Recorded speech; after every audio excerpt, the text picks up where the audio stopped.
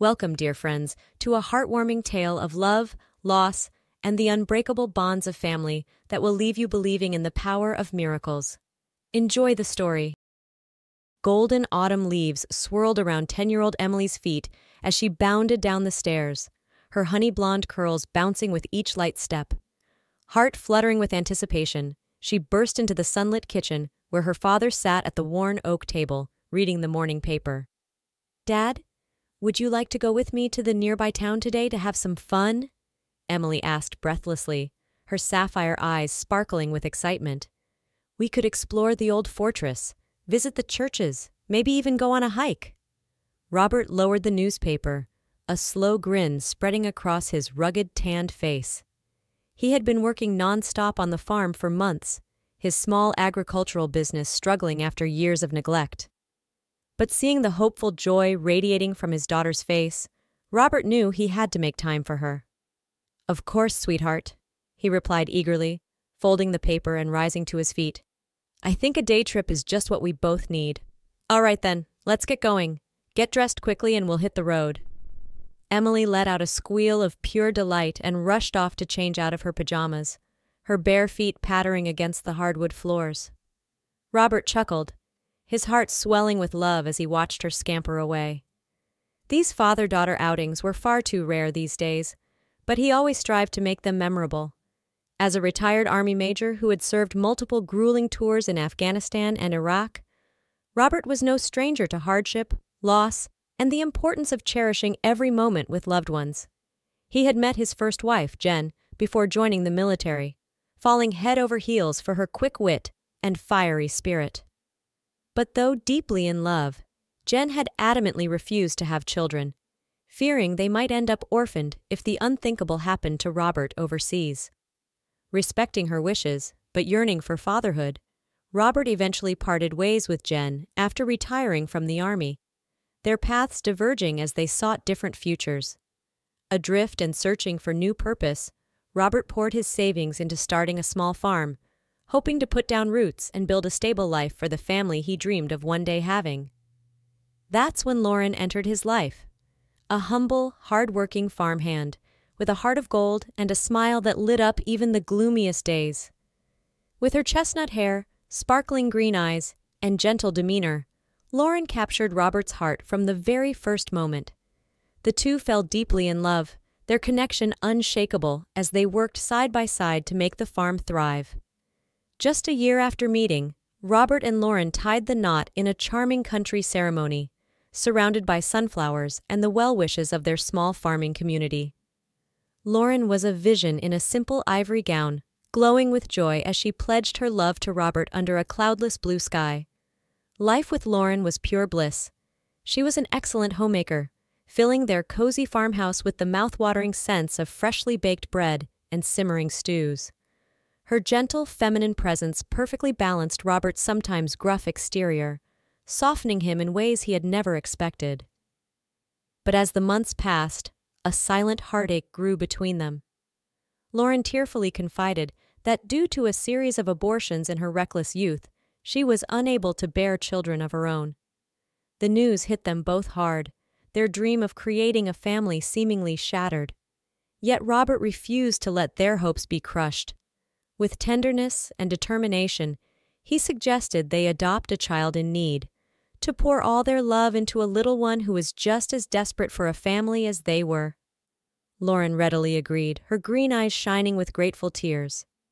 Enter Emily, a tiny underweight five-year-old with huge chocolate eyes, a mop of unruly curls, and a guarded expression that spoke of a short lifetime of neglect. Though her birth certificate claimed she had just turned five, the signs of prolonged malnutrition had stunted her growth, making her appear closer to a malnourished two or three year old. But Robert and Lauren saw past the defensive exterior, recognizing the incredible strength and resilience in the bright little girl. They fell in love with Emily instantly, welcoming her into their hearts and home with open arms and unwavering devotion. For three blissful years, the family thrived, the farm's success mirroring the joy that filled their household. Robert doted on his precious daughter, teaching her to ride horses, bake pies, and appreciate the simple wonders of country life. Lauren blossomed as a mother, her nurturing spirit helping Emily grow from a timid, withdrawn child into a vibrant, curious girl who excelled in school and made friends easily. But their perfect world shattered one snowy winter morning when Lauren vanished without a trace on her way to an important supplier's meeting in the city. She had left at dawn, carefully navigating the icy roads in their sturdy pickup truck. Dressed smartly in her best wool suit and winter coat, Lauren had kissed a sleeping Robert goodbye, leaving a thermos of coffee and a note expressing her love on the nightstand. But as the hours passed with no word from Lauren, Robert grew increasingly worried. He called her cell phone repeatedly, each unanswered ring ratcheting up his fear. By late afternoon, he knew something was terribly wrong. With a trembling hand, he dialed the police. The news came like a punch to the gut. Lauren's truck had been found submerged in an icy river just a few miles from the meeting site, the driver's side door wrenched open, and Lauren's purse abandoned on the passenger seat. Search and rescue teams combed the frigid waters and surrounding woods for days, but no trace of Lauren was ever found. Robert was devastated, his world crumbling around him as he struggled to process the incomprehensible loss. Grief and despair threatened to consume him, but he knew he had to stay strong for Emily, who was heartbroken and confused by her beloved mother's disappearance. Compounding Robert's anguish were the cruel rumors that began to circulate in town whispers that Lauren had deliberately run off with Tony, Robert's slick, city bred business manager who had vanished the same day, taking a substantial sum of the farm's money with him. Some even suggested the two had been carrying on a sordid affair and had planned the whole disappearance together. Robert refused to give credence to the vicious gossip, clinging to his faith in Lauren's love and loyalty even as doubts gnawed at him late at night. He threw himself into keeping the farm afloat, working long, punishing hours to ensure Emily would always be provided for. Emily, too, stepped up in the face of tragedy, helping with chores around the house and excelling in her studies, despite the gaping hole in their family. At just eight years old, she seemed to understand that she and her father needed each other more than ever. Now, two years later, as the leaves turned brilliant shades of amber and crimson, Robert was determined to give Emily a day of carefree fun and adventure, a respite from the weight of their shared loss. The picturesque tourist town, nestled in the rolling hills just a few hours' drive from their farm, seemed the perfect destination. With its quaint cobblestone streets, towering stone churches, and a sprawling medieval fortress perched atop a hill, the village promised a day of wonder and discovery. As they drove along winding country roads, Emily sat pensively in the passenger seat, her delicate brow furrowed as she watched the autumn kissed landscape blur past. Robert reached over to pat her knee, his calloused hand gentle. You doing okay, sweetie? Emily nodded, managing a small, brave smile. Yeah, I just. I miss Mom a lot sometimes, especially on trips like this. She would have loved exploring the old buildings with us. Robert swallowed hard, fighting the ache in his throat. I know, honey. I miss her too, every single day. But we have to believe she's watching over us, smiling down on days like this. She'd want us to embrace joy again, to keep living. Blinking back tears, Emily reached for her father's hand, her small fingers intertwining with his. As they lapsed into poignant silence, the car crested a hill, the picturesque town coming into view. Suddenly, Emily let out a piercing scream, her whole body jolting forward against the seatbelt. Mom! Dad, stop the car! It's Mom! Heart thundering, Robert slammed on the brakes, the tires screeching as he pulled onto the gravel shoulder. His wide eyes frantically scanned the scene before them, trying to spot what had triggered Emily's outburst. There, sitting serenely on a weathered stone bench outside a towering, centuries old monastery, was an achingly familiar figure. A woman clad in the simple black and white habit of a nun, her chestnut hair peeking out around the crisp edges of her wimple. Lauren? Robert choked out, scarcely daring to believe his eyes. With trembling hands, he threw the car into park and stumbled out onto the sun warmed gravel, his legs threatening to give out beneath him.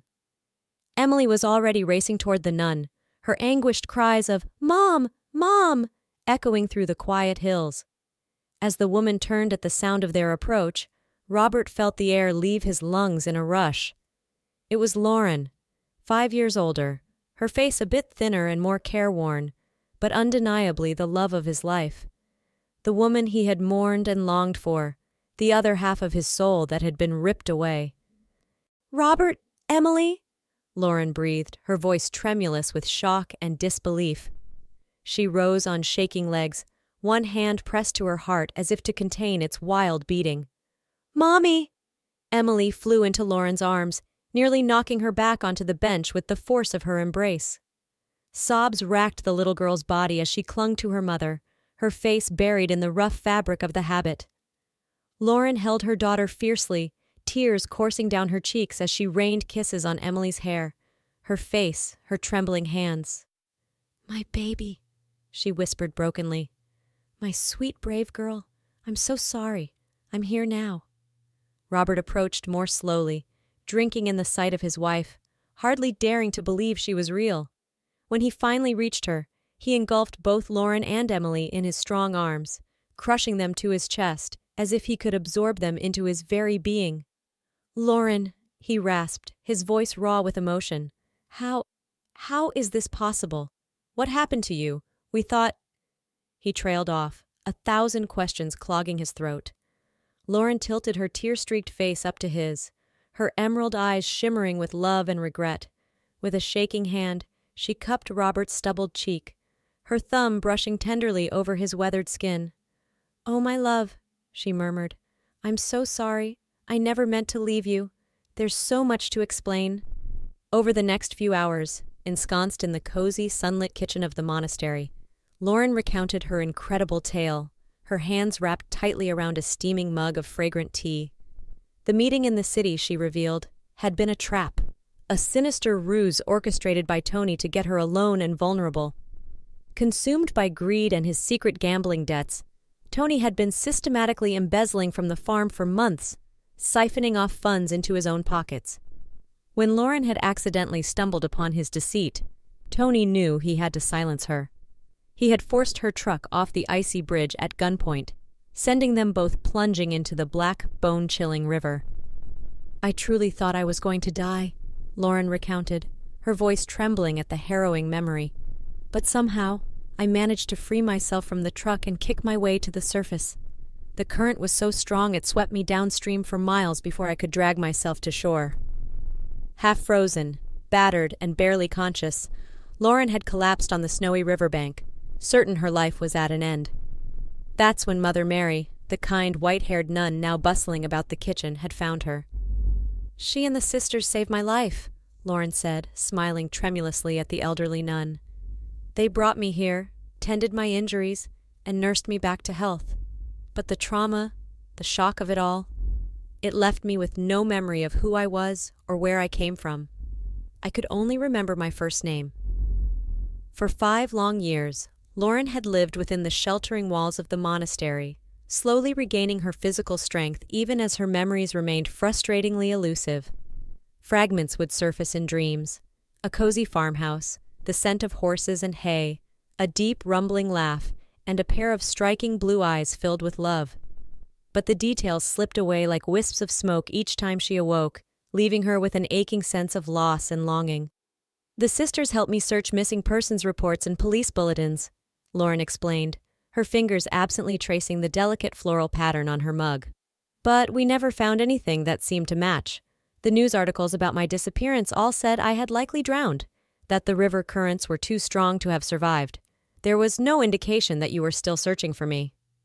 Robert's heart clenched painfully at the thought of Lauren, scared and alone, scouring reports for some clue to her identity, while he and Emily grappled with their grief just a few hours away. If only he had widened the search. If only he had trusted his gut feeling that Lauren was still alive. Sensing his distress, Lauren reached across the table to take Robert's hand, her fingers interlacing with his like puzzle pieces reunited. It's not your fault, my love. Please don't blame yourself. You had every reason to believe I was gone.